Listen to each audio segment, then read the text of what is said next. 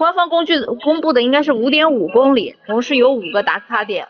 湖光序曲那里有一个绿色的个自助机，扫描上方的有一个微信小呃小程序，扫进去之后你支付十九块九，护照本就从那个自助机里面就掉出来了。你每到一个点，你要在这个有一个那个智能机上面，你要在上面盖盖章，还挺好玩的。就有一点就是武汉特色吧，比如说你蛮闪亮，就是汉化的，就是你。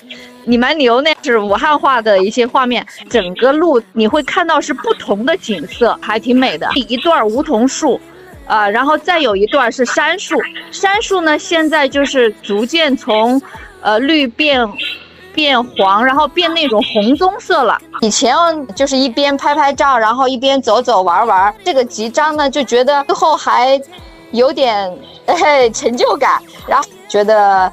呃，这种玩法还比较新奇，而且也比较迎合现在的一个潮流嘛。